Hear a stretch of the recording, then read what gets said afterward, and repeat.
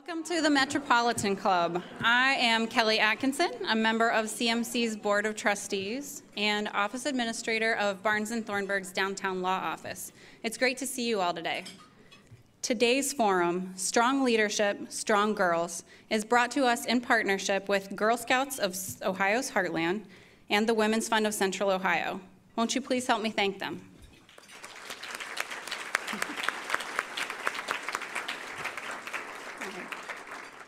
Women gained the right to vote in 1920 with the passing of the 19th Amendment. Yet progress and equality for women and girls is an ongoing journey.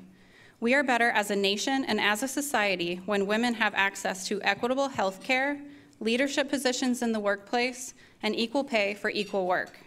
Let's learn more from some strong women who know.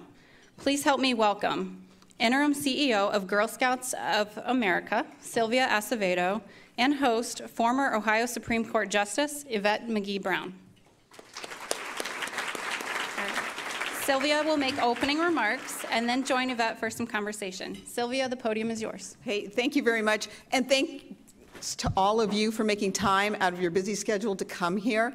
Um, I don't know if you know, but we're having our convention in Columbus in October 2017. Oh, Tammy's showing yes. And we're just absolutely thrilled. Um, you're living in Columbus, so you don't realize outside of Columbus, this is a hot city. I mean, people are talking about it. Um, you know, three years ago when we announced it, people go Columbus, but now people are like, oh my God, we get to go to Columbus. So um, we know that there's going to be well over, you know, 10, 15,000 people that are coming just for the convention. And, you know, just to give you a sense, um, that's bigger than a women's Final Four. All right, so it's a big economic impact, and we're just really excited. And I will tell you, you all have been so amazingly gracious and welcoming. We are thrilled to be here. Now, um, also, you know, you might have seen, and there's a troop out there selling Girl Scout cookies. All right, and um, I want to talk to you about this program just really quickly in terms of my remarks. Do you know this is an $800 million business? It's the second largest cookie business in America, second only to Oreo, and we do it in three months. I know that is pretty amazing, right? And the money, and the money stays local. So you actually, you're doing really good when you buy these cookies, right? Um, but what I want to talk about is the impact of that program. The impact of the program is just wide and extensive half of America's female entrepreneurs, successful ones, were Girl Scouts. 80% of America's CEOs, they were Girl Scouts. And I know for me, selling Girl Scouts changed my entire view of opportunity. I grew up in southern New Mexico, very humble circumstances, and I got into Girl Scouting. And I was really excited to be part of Girl Scouts. And when I saw all the activities we could be part of, I stayed back and I talked to my troop leader and I said, you know, I can't participate. And she said, why can't you participate? I said, because my family can't afford these things. And she said, don't worry, you're going to sell cookies. And, and, and uh, then she explained that what we do is we, we set goals, you make decisions. Basically, you create a, a marketing plan. Then you have to go and ask for the order. You have to deliver on your order. You have to say please and thank you. And then you have to deliver the money in as well. So there's the business ethics as well.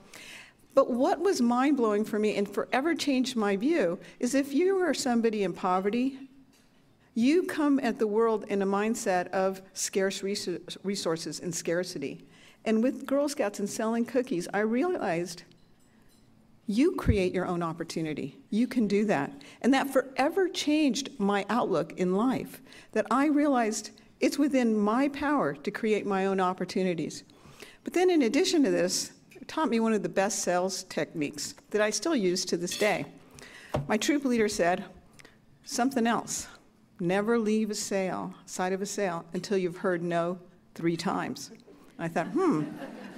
You think about it, so the first sales that you're doing, right, that's to your friends, your family, your church members, right? And everybody looks at you and says, of course, I'll buy cookies. But then you start knocking on doors or talking to people you don't know. And there comes that moment when somebody says, No, thank you. And I remember I, I stood there and I thought, I can't, I can't leave because my troop leader told me. So I thought, well, what can I say? And I said, well, is there anybody else at your house that would buy Girl Scout cookies? And she, and she said no. And I said, well, would it make somebody's day if you bought some cookies and gave them to them? And she said yes. And. But, but that was a really important skill because it taught me resilience, it taught me persistence. So, in addition to realizing that I could create my own opportunities, it taught me that very important aspect of it, which is that resilience, that persistence that you need in life. And, you know, recently I was out in Silicon Valley, and I have this, um, you know, because of Girl Scouting, I will say that I have this great opportunity that um, as, the inter- as the interim CEO, any CEO at Girl Scouts gets to make their own patch. And my patch tells my Girl Scout story, which is I became a rocket scientist because of Girl Scouting. So my patch talks about how there's the stars that I got looked up in the sky so that my troop leader said, You should earn a science badge. So I earned a science badge making rockets, which is my rocket ship there. You see the nucleus, you see the middle of the atom is the nucleus of Girl Scouting. And then I worked on the Voyager 2 mission, which uh, went by Jupiter and its moons Io and Europa. So as you look at my patch, this is not a cookie. this is Jupiter, and you can tell because of the big red dot, and then my favorite uh, um, mathematical symbols. But you know, when I was out at Silicon Valley, they were we were talking about the STEM pipeline and the need for more women in STEM. And I was this big conference, 150,000 people. 80% of the women there were Girl Scouts. And when you think about in, you know, Silicon Valley and in a lot of industries like that, a lot of women don't stay, even though they've been trained in programming or engineering. But those things, those, le- those lessons that you learn in Girl Scouts, persistence, resilience, realizing you can make your own opportunity, to me, it's no surprise. It's no surprise that there's a connection with those women that are in Silicon Valley. And there, well over 80% of the female executives in Silicon Valley were also Girl Scouts.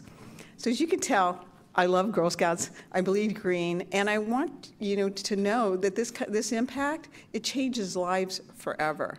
So it's not just my life or other women in technology. Almost every astronaut that's ever been into space was a Girl Scout.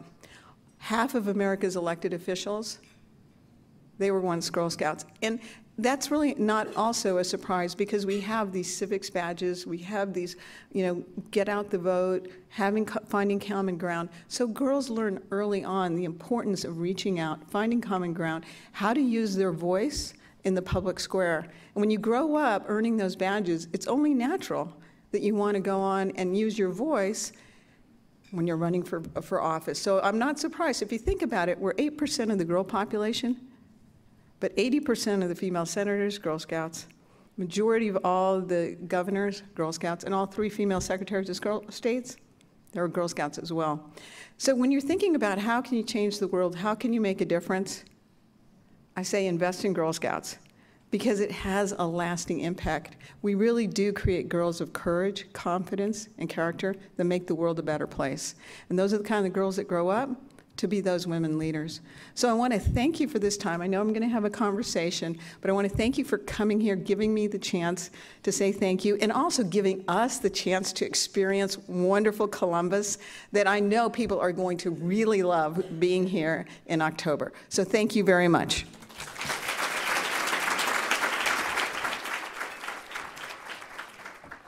So I remember when I was a Girl Scout, people said to me that the first woman president will have been a Girl Scout. So we're still waiting on that, but we know it's going to be true. Um, let me take a moment and introduce our First Lady, who was also a Girl Scout, Karen Kasich. Um, Karen, please stand. Let everybody acknowledge you.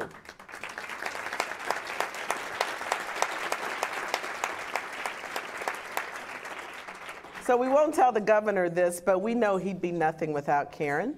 and Karen came in in her Girl Scout green, and I said to her, I said, Oh my God, you've got your Girl Scout green on. She said, Yeah, I was toying with wearing the sash and the uniform because I can still fit it. So for that, for that, we give her double kudos. There are a few Girl Scouts or former Girl Scouts in this room that can say that. And just to point out, our Chief Justice was also a Girl Scout. So what you say about leadership and what Girl Scout teaches you, it really gives girls that power to step forward. So now to talk to my friend Sylvia. And I promised to behave in my um, interviewing. But I, I thought we'd lead off with from what you started talking about, being that, that girl from humble beginnings in New Mexico. How does that girl from a low income community, probably with not a lot of rocket scientists in her neighborhood, go from that neighborhood in New Mexico to being a rocket scientist? Well, um, thanks for that question. You know, I hadn't made the connection between Girl Scouting and, you know, going into technical fields until um, in 2006, Stanford University Archives Department called me. And so when an archives department calls you, you feel really old, right? like, oh my gosh. But they called me because they said, you know, we're looking at our records, and you're one of the few, uh, you're one of the first Hispanic male or female to have ever gotten their graduate engineering degree from Stanford, but still one of the only. And they said, we want to know how it was that you got to be, you know, to be prepared, that you could handle the academic rigor of Stanford. Because frankly, we didn't even recruit in southern New Mexico. So how was it that you even thought to go? And the more they asked me questions, I, they kept saying, well, so how did you develop an interest in science? How did you have that persistence?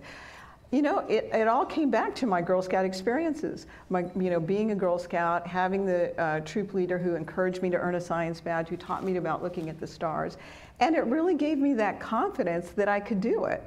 And so then when it came to be time to choose math, science, I always chose those different um, topics and subjects because I knew I had the confidence to do it. I had that, you know, courage, confidence. Um, and so that's kind of what it all started. And even when, like, my guidance counselor told me girls like me didn't graduate from high school, girls like me didn't go to college, and girls like me didn't become engineers, I could confidently say, you know, I could do that because of my Girl Scout experience. That's awesome. And so, was there that defining moment? Because I know we talk about the confidence that Girl Scouts gives us, but I can remember starting law school. I was terrified. Mm-hmm. I kept looking around at the other people in my class thinking, oh God, I don't belong here. I'm never going to make it through this first year. Did you have those feelings and how did you overcome them? Well, you know, um, I failed. And Girl Scouts taught me it was okay to fail. So the first rockets I made were not successful. um, I was also doing it at the time when I was earning my cooking badge. Because, you know, I wanted to be like all my friends, girl, right? I want to be like all my friends. So I'm earning the science badge, but I'm also going to earn a cooking badge. And um, I tried making uh, peanut butter cookies, and the, in our family we spoke Spanish, so the cookbooks were in Spanish, and so I misread one of the ingredients, and I put a, a taza, a cup of salt into the peanut butter cookies. Yeah. Oh. Yeah. So uh, that, that was a science experiment. it didn't change the smell. It didn't actually change the look, but it did change the taste. Um, but after that, uh, we, we couldn't afford more peanut butter. My mom said, well, you got to make something out of what you have. And so we had um, flour and we had Fleischmann's yeast and we had some um, tomato paste. So I said, we're going to make a pizza. And um, I read the directions. My mom asked if I needed help. I said, The directions are in English. I got this. remember that confidence? And so I read the directions. The Fleischmann's yeast said warm water. And I thought, hmm, warm? I'm going to make it nice and warm. And so I poured boiling water on the Fleischmann's yeast. So I was waiting for the dough to rise, waiting for the dough to rise. So then I went to my mom and um, she said, Oh, and then she taught me it's got to be just a little uncomfortable on your wrist. That's the right temperature. She didn't ask if I needed help. She stayed and watched. Um, but then, you know, the dough did rise. And as I was punching it down, I had that moment, that aha moment of cooking is just like science. It's just like making my rockets. I had to read directions. I had to make sure I got the ingredients right. Got to make sure you got the heat right. Put all those things together, and you have success. And I did have you know mistakes along the way, but it taught me keep persisting, trial and error. And um, I had that aha moment. If I can cook, you know, I can do science. So that really helped me. Um, and then I had another moment of you know, crisis of confidence when I was going to go into engineering programs, and everybody was surprised because girls like me weren't, you know, being engineers. And so I thought, oh my gosh, I'm going to be competing against Einsteins and just all these folks. And so I get into my first engineering classes, and those are the guys I did better than in school, in high school. So I'm like, eh, I can do this. um, so, um, you know, that, those experiences gave me a lot of confidence to, get, to overcome. So in your in your younger years, or maybe even now, when you were having those feelings or have those feelings of, I'm exhausted, I don't know if I can do this, or insecurity, is there somebody that you turn to? I mean, who's your mentor? Who's that person that pushes you up the hill? Well, you know, uh, that's a good question. So, you know, obviously I had amazing troop leaders um, that were really encouraging. You know, uh, my mom was really encouraging. My dad, the best as he could, we had a very traditional family, so he was not as, you know, uh, proactive, I think, in his support, one might say. Uh, so that really helped me building my resilience muscle. um, but um, you know, I also was hungry for anything about girls, so I read everything about Clara Barton and Florence Nightingale. And what I know, know now that I didn't know then was Florence Nightingale was an amazing systems engineer. She really was. Uh, amazing statistician. Um, she's the one that developed and figured out how to make charts to convey statistical information. So if you think back to when Florence Nightingale was, uh, was being active as a nurse, it was during the Boer War, and there were many people that were dying. And she was trying to say that her triage me- methods would be better than what was currently being used. But she was a nurse, right? She was a woman. So they ignored her. And so then she decided to get data. You know, and again, at her time, they wouldn't even allow women to get into the statistical societies. So they said no. So she's like, I've got this great data. So she had the great leap of thinking, I'm going to hire a cartographer. So that's a map maker. And they made, and so she figured out, I need to visually represent data. And so that's why they're called charts. Do you ever wonder why on Excel they're called charts? Because she actually created, so if you go to a map maker, what do they make? They make charts, right? So she was one of the first people to have ever conceived of that thought. This chart this is, shows you how nerdy I am, is still considered to be one of the top three charts that changed the course of the, war, of the world. And her statistical methods are still being used to this day in terms of our triage, mm-hmm. uh, saved thousands of lives and changed the course of the war. I read every, as you can tell, I read everything I could read about Florence Nightingale. And I think those kind of inspirational that, you know, she didn't immediately get a win. They kept telling her no, they kept telling her no. And the same thing with, with Clara Barton. Nice. So, how do we change the discussion about girls, right? So, you said that 8% of girls mm-hmm. um, are in Girl Scouts. Yeah. And then, what'd you say, 80% of leaders? Uh, 50% of all elected leaders, but like 80% of the U.S. senators and so if, if we know that, like there's these commercials that are running, now, I don't know if you guys have seen them, that said, what if girls looked in the mirror and didn't look, talk about how they looked, but talked about being scientists or doctors or business people? If we know Girl Scouting and we know that it really be, builds leadership, it builds self-confidence, particularly at those ages where girls' attention may be turned to other more outward uh, appearances instead of what's in their brain. How do we, how can Girl Scouts lead in changing that discussion? That's a really important uh, discussion. One of the parts of our website that gets the most traffic is called Raising Awesome Girls. And at all ages, that really becomes a very important point mm-hmm. because you know when you're when they're young, uh, you can influence them in a certain way. When they get older, it's really tough because bullying, social pressure comes on. And that's something we really look at quite a bit. We are looking to see how we can make Girl Scouts even more relevant on mobile devices. We will never get away from that in-person experience because that is absolutely you know, vital.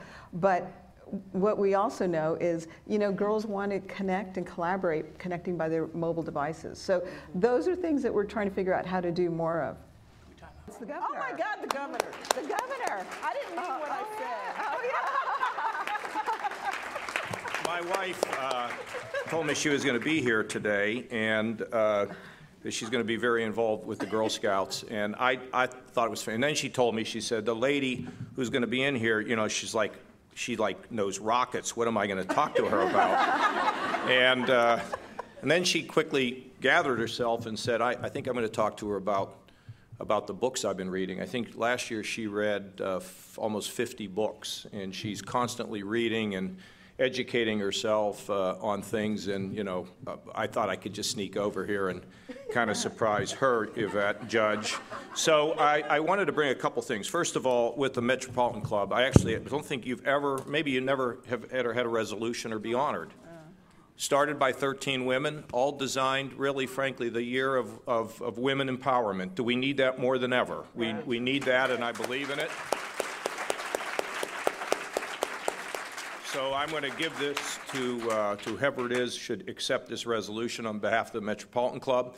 And I have a real great self-interest because I need those 17-year-old twins of mine to be supporting dear old dad and mom, okay? Uh, so we want women empowered. But how about this, how about this woman, huh? I mean, they, they made a couple notes.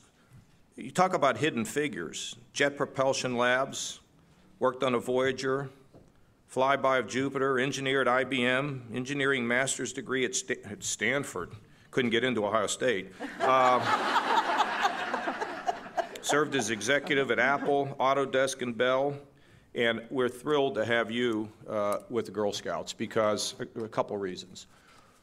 One is we have, as you know, uh, Sylvia, there is a huge problem here with the coming tsunami of, of digital, uh, the digital changes in this world. And our education system, I frankly do not believe that, they, that it understands this wave that's coming our way. You know, the number one occupation in America is, a, is driving.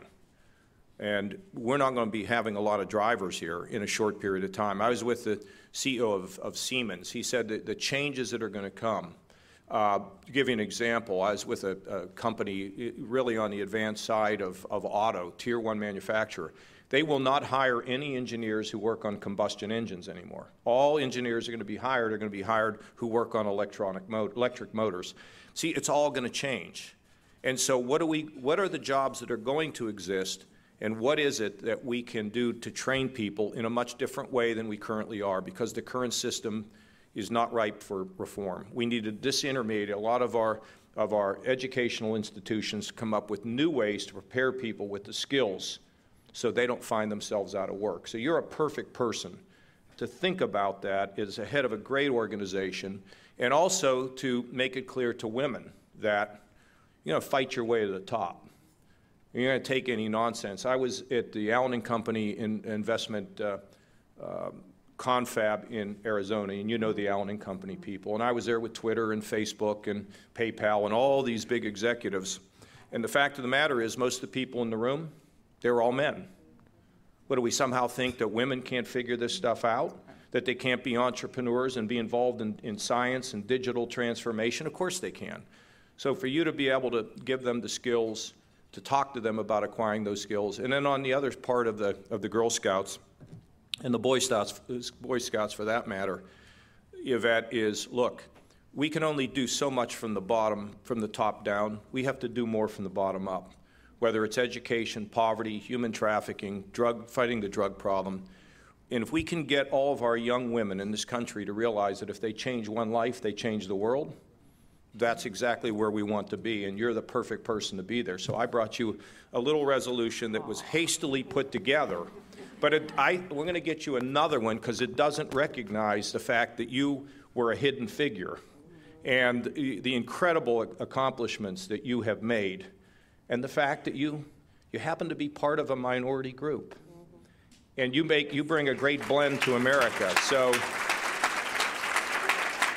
so Sylvia, this is for you. And God bless you. And I will get out of your way before. Oh, oh, my patch oh, my CEO oh, this is really cool. Look at this one, babe. Okay, thanks for letting me interrupt. Okay, I'll-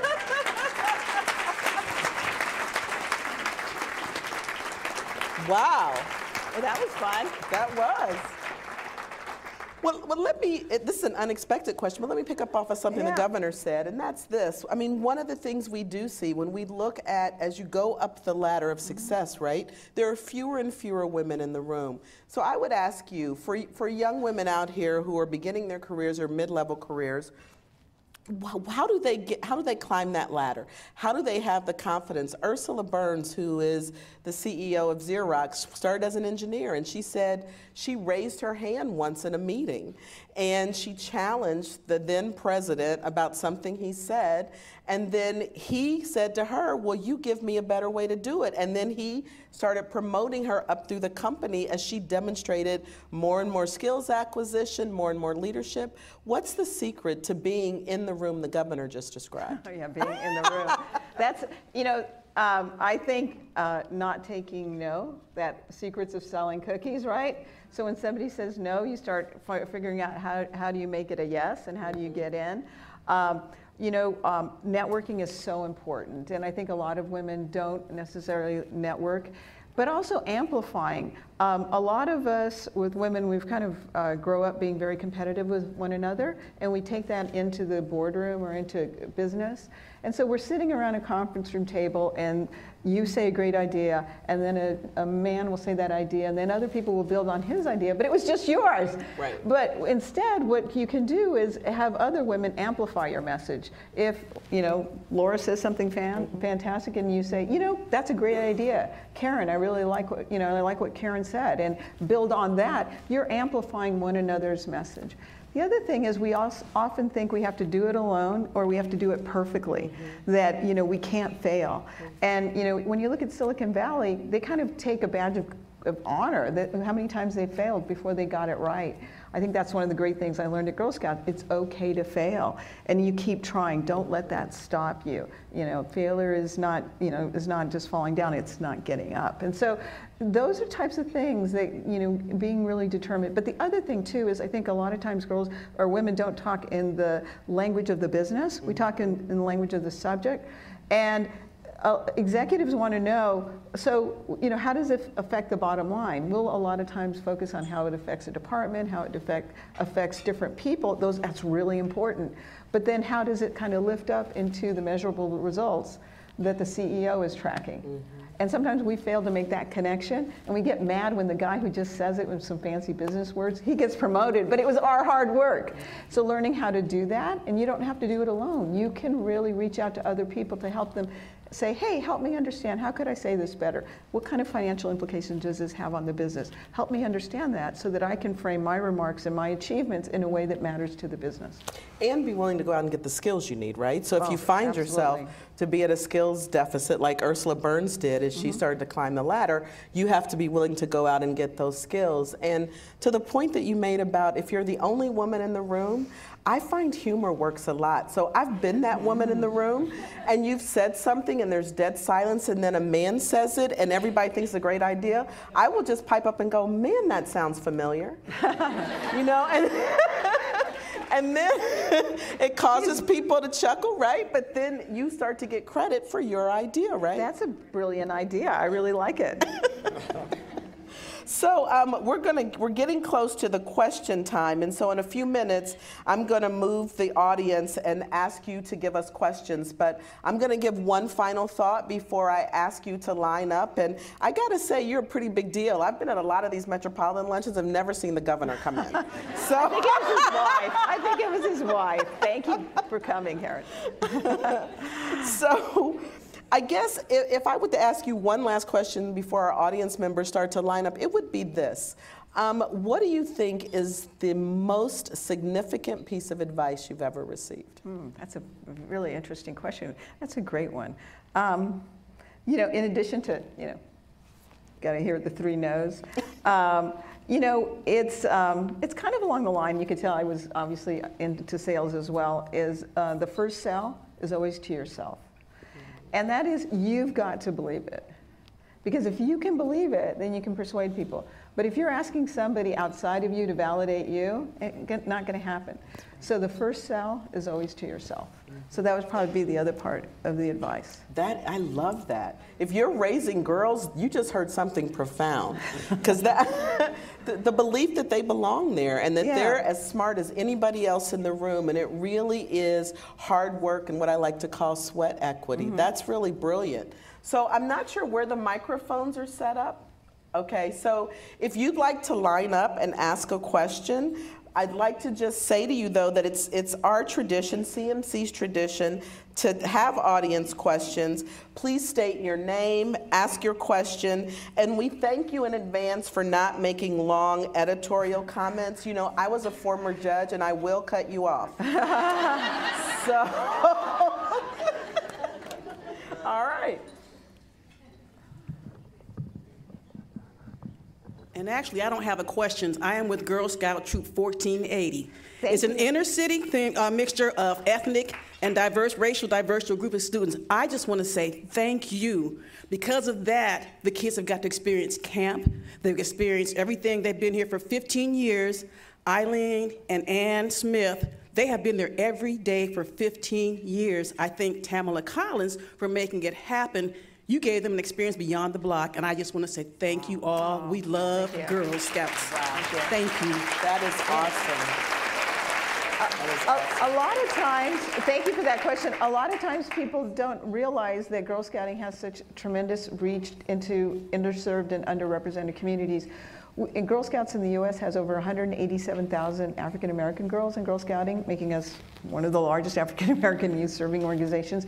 We have over 204,000 Latinas in Girl Scouting. Again, I'm, I'm hard pressed to find another youth serving organization that has that many um, um, Latina girls. And we serve, you know, all girls, of, regardless of their heritage, in, in poverty. Over a third of the girls in Girl Scouting are in low-income Title I schools. So our reach goes to all girls. Yeah, I told Sylvia last night that my first plane ride was as a Girl Scout. Our Girl Scout troop was at Shiloh Baptist Church, and I was 13, and I was one of two girls from Columbus selected to go on a national leadership uh, trip to Oral Roberts University in Tulsa, Oklahoma.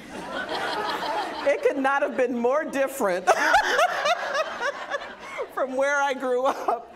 But, but it was amazing because to be a 13 year old kid from the inner city, never being on an airplane, but really being, seeing a college campus and being with other girls from across the country, it's what Girl Scouts gave me. So just, it's tremendous the work they do. Yes, sir. Tony Guglielmato. Um, I have uh, one question. First, I'd like to say uh, to Yvette and Sylvia, thank you so much for your contributions. Uh, You are uh, role models not only for women, but for also for men. Um, The question is, I know a little bit about Boy Scouts, and I know that boys that go to the top of the Boy Scout ranks and get their Eagle Scout badge and their Eagle Eagle Scout project. Can you tell me what the equivalent is in the Girl Scouts? Oh, thank you for that question. I love that question. It's called the Gold, Gold Award, and uh, you, know, you know we need to do a little bit better marketing. So thank you for that uh, setup question. Uh, the great thing about the Gold Award, I like to say, it's actually a little bit harder to get than the Eagles to earn than the Eagle Scout Award. Uh, but uh, what a lot of folks don't realize is earning your Eagle Scout um, and also earning your Gold Award, top universities, universities across America, you're already put into the second round of admission. So think about in a very competitive environment, that is a massive advantage. And there are universities that you get full rides, scholarships. So I just spoke to a young woman in, uh, that goes to Columbia University in, in New York. She does not, her family has plenty of means, but she was a Gold Award win- earner, and she has a full ride scholarship in Columbia. So, and then also if you join the military, you join whether Eagle Scout or a Gold Award earner, you, you start at a higher rank and higher salary. And it's interesting that uh, just recently the um, commandant of the Air Force Academy said he can always tell who's going to succeed. He says there's one trait. People think, oh, it's test scores, it's you know experience in the military. It's no, were you a Girl Scout or were you a Boy Scout? That is a differentiator.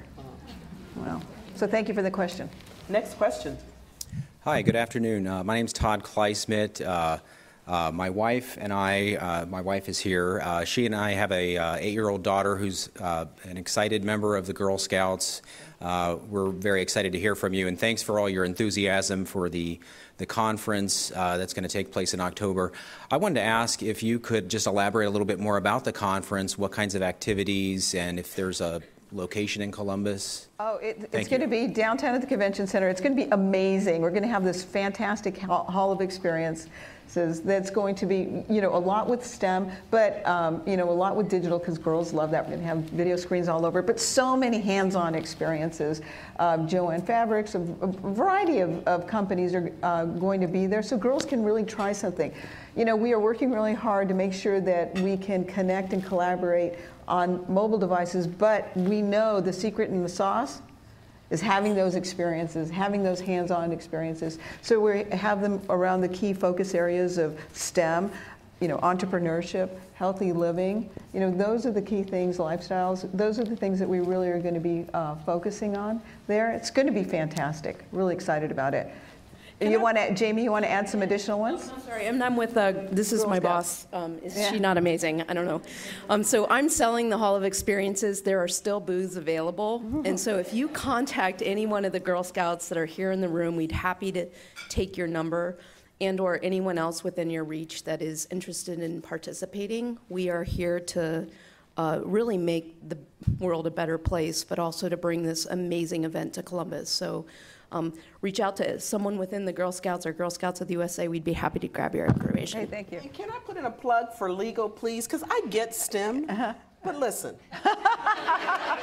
we need more women lawyers. Yeah. And uh, everybody, every magnet school is on STEM, and it's great that we're doing science, technology, education, and math, but I need little girls who can read Right. and think and analyze and who want to grow up to be lawyers.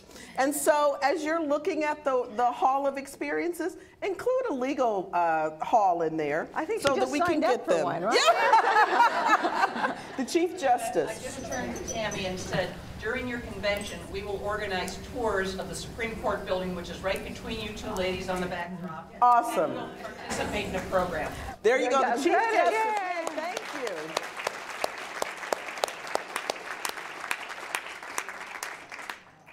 Yay. Thank you. Next question, please. Hi, um, my name is Maxine Keith, and I'm with Troop 673, and um, I'm a cadet, and I have a question. What is your favorite Girl Scout cookie, and how many boxes would you like to buy?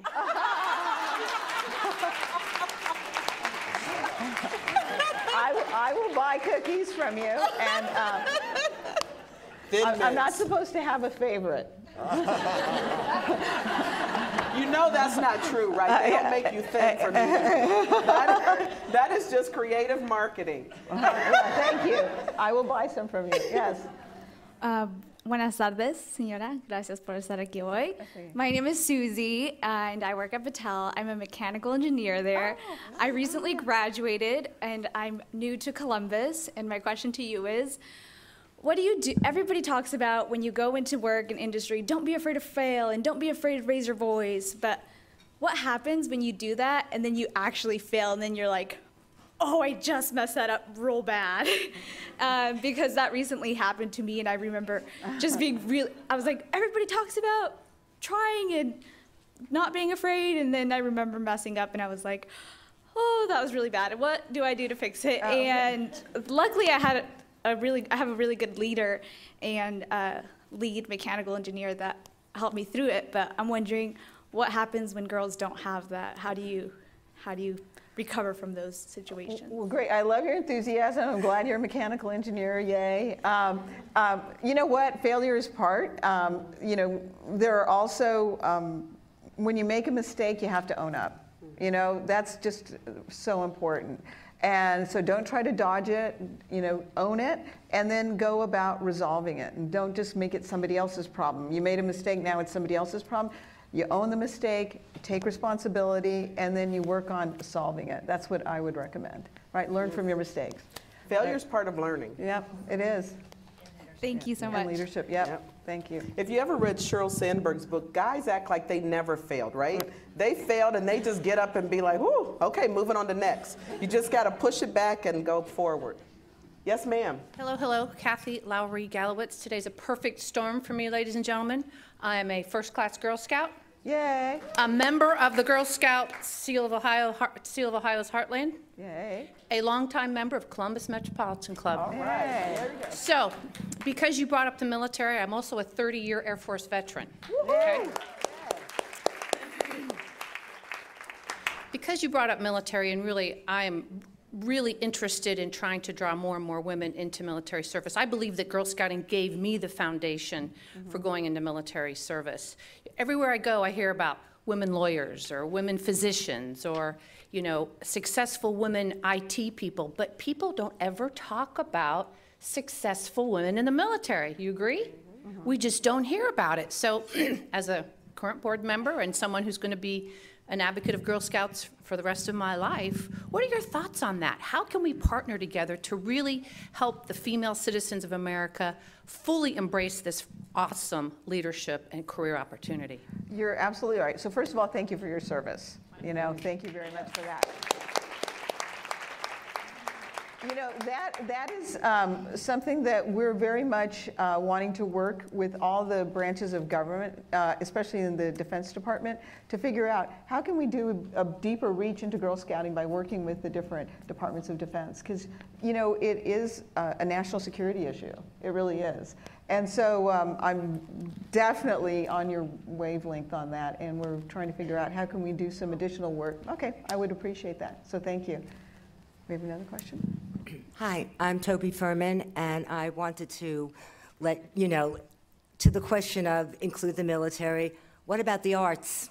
STEM to STEAM. STEAM, yeah. You can't forget about the arts. It's an opportunity of a lifetime for many, many kids, especially sometimes low income. So, Yeah. in your conference and as you explore your, you know, evolution, don't leave out the arts. Oh, you know, you're absolutely right. Um, and we're working on an, uh, a national um, um, rollout where we will actually do um, hands-on STEAM um, around the country, giving girls an opportunity of how do you, you know, like think about wearables. You know, putting technology into fabric. I mean, just all sorts of great stuff like that. Uh, we're really looking at that, and we're working on reimagining your your affiliation with Girl Scouts. So think about girls. We have sashes. We have your you know your badges. You've got your uniform. We're, we're really trying to think in the age of digital. How do you reinterpret your affiliation? So we're really thinking a lot about arts and fashion. I'm going to make a plug for something that I've been working on. I'm developing a program called the Art Mobile. Uh-huh. And it's an art studio on wheels for low income in our mm-hmm. distressed neighborhoods here in Columbus. So if I have it all together, I'd be glad to show up for your conference. Okay, well you know the people It's, there. outs- it's going to be outside, so it'll be on the bus. Yeah, But okay. good luck, and I, you know, love Girl Thank Scouts. you. I was a Girl Scout myself. Yeah, I'm not surprised. Thank you. You're one of those entrepreneurs. Hi, and it's such a pleasure to know you, at least to hear to hear you talk. Uh, also, I want to say that I'm very proud that we're new to this country, and my daughter is in her second year uh, in Girl Scouts. Uh, I'm a PhD with Ohio State, um, and what you said earlier, with the eight percent enrollment of the girls in United States um, in the Girl Scouts, it's. Um, I wonder for not necessarily for you or for you, Judge, but for everybody, what can we do uh, to spread this? My daughter it loves it. I love it because it helps me acculturate her, um, and, and it takes away from pressure of being a mom because the troop leaders are so supportive and she gets so much from the troop itself but how can the other 92% or you know we can raise the percentage of the girls being enrolled with such awesome outcomes Well, I, I thank you very much. And Tammy, where's Tammy? Did she? leave? There she is. See her? She she wants to talk with you because it's very much we want. You know what our Girl Scout mo- uh, our model when you think about it is girl potential and then pro, you know programming skills, and that's where most youth organizations stop. But what makes us different and what has these lifetime outcomes is that we have two other parts, which is the Girl Scout leadership experience. Because when you learn something, we ask you to do something. You may learn about civics, but then we're going to ask you to do something in your community, in your park, you know, it, it- to make it a better place. If you learn about technology, we ask you to go make a robot. You got to do something with it. So the Girl Scout leadership experience is a really important part. But the fourth part of our model, which is something you referred to, is it's always under the auspices of a caring adult. That's a volunteer who says, I want to make sure your girl potential is developed as fully as possible. And you, we're so grateful for all of our troop leaders because we know they care about their daughters, but they also care about those other girls. And they try to make sure that their skills are developed, their potential is fully developed. And I think that's why you have such great outcomes. And Tammy's always looking for additional volunteers. You don't have to run a troop by yourself. Uh, it can really, uh, you can do it with four or five friends and, um, and, and run the troop. And then on a personal level, you mentioned you were new to the U.S. My family, we, uh, my mom was from Mexico. All my grandparents were from Mexico, one of 13. But my troop leaders, um, they really adopted my mom. They took her under their wing, and they helped her learn English. They helped my mom um, take citizenship lessons because, you know, my father kind of traditional. He wasn't necessarily telling her she was eligible to become a U.S. citizen. And they helped her uh, apply and pass the citizenship test. So for me, one of my proudest moments was when I was flying up from Brownie to Junior, my mother was flying up as well, and she was becoming an American citizen. Nice. So I know that wouldn't have happened without Girl Scouts. So yeah, has a big impact. So thank you for that question. Hi, I'm Essie Pasetta, and thank you so much for being here. I feel really honored, and I truly have a front row seat, so it's been such a pleasure. Um, my question for you, or I guess my, my brief, brief, brief editorial is uh, from you know the age of 18 when I went to college and graduated, uh, pursued my degree, graduated as an engineer, but went directly into sales. From now, I am 29, and I feel like I'm kind of zigzagging all over the place. My question for you, of somebody who I feel like is also a zigzagger, is how do you know, or how do you know, how do you find out what you're going to be when you grow up? Uh-huh. All right. Or what you should do? You know, I'm a problem solver, and um, so I always um, did things that interested me and solved those problems, and that was really uh, powerful. Um, and, um, and and I also really got into studying the organization, so I didn't just always try to make a sales quota or whatever. Or I tried to see what were the problems the company was having and how could I be part of solving them. That opened up so many doors of opportunity uh, for me. And then when I um, I ended up joining a company and we sold it, and then I started working in nonprofit world. I realized I could use my powers of analytical skills, understanding demographics, understanding scalable solutions, so you could re- reach thousands of, of kids one on one. But that was using my engineering. But I did that around solving a problem, so that's kind of how I went about it. I'm also going to do a shameless plug. Uh, on LinkedIn, I'm going to ask you all to uh, put your connection on LinkedIn and Girl Scouts, if you would. Um, you can get the story of my patch on LinkedIn, and also I have a bunch of patches if you want one. I, I've got one for you. Uh, but LinkedIn did a survey, and again, it's self-reported data, so we don't know how accurate it is, but 90% of the women making more than $100,000 a year on LinkedIn were Girl Scouts. Wow. Had a Girl Scout affiliation. It's powerful. So thank you. Well, can I give you one more thing? Engineers make great patent lawyers. they really do. And there are few women in patent law. Uh, oh. yeah, but patent lawyers make a lot of money. Um, especially IP, especially Yes, IP patent that's lawyers in. Silicon Valley. Yeah. Good afternoon. My name is Sherry Lynn Wynn, and it's a pleasure to spend the afternoon with you during this lunch period. I'm a change agent within youth development here within the city. I'm also the mother of three girls and the mother uh, and the grandmother of one girl. I have two graduating from college this year, so I'm really excited about that. I don't exactly have a question. Oh, and I was also a Brownie and a Girl Scout. Woo! But what I do want to say is when we were talking about failure a little earlier, I have two really good quotes that I've really, really uh, stood on throughout my life with failure. And number one is you never fall down, you always fall up. Mm-hmm. And the next one, which comes from my mentor, Judy Barker, and it's, it ain't no hill for a climber. So if you fail, look at those two quotes and pick yourself back up and keep on moving. It's not going to be easy, but when you have ladies like you leading us and mentoring us, it's going to be all right. Well, only Thank you. because you were the last one will I not chastise you. Thank you. and now, first of all, let me say to Sylvia, thank you. Oh, thank she you. she is so wonderful, and to have you in our community and to have you leading Girl Scouts for all of us, it's a thrill. So thank you for spending time with us the Thank last two all days. of you for coming here, and see you in October. And before you leave, we have a special announcement that has not come out yet. If you were wondering why Karen Kasich is here, it's because she's agreed to be the honorary chair of Girl Scouts of Ohio's Heartland, our local council, for 2017. And she's going to welcome our guests here to the convention in October. So we're delighted to have her part rejoining the Girl Scout family uh, this year, throughout the year, and leading up to convention. So thank you so much.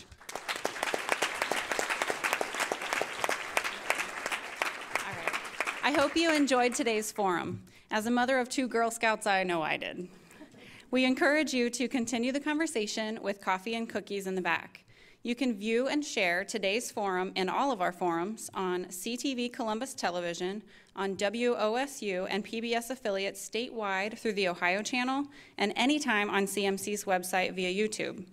Please help me thank our partners, Girl Scouts of Ohio's Heartland and the Women's Fund of Central Ohio, and our speakers, Sylvia Acevedo and Yvette McGee Brown.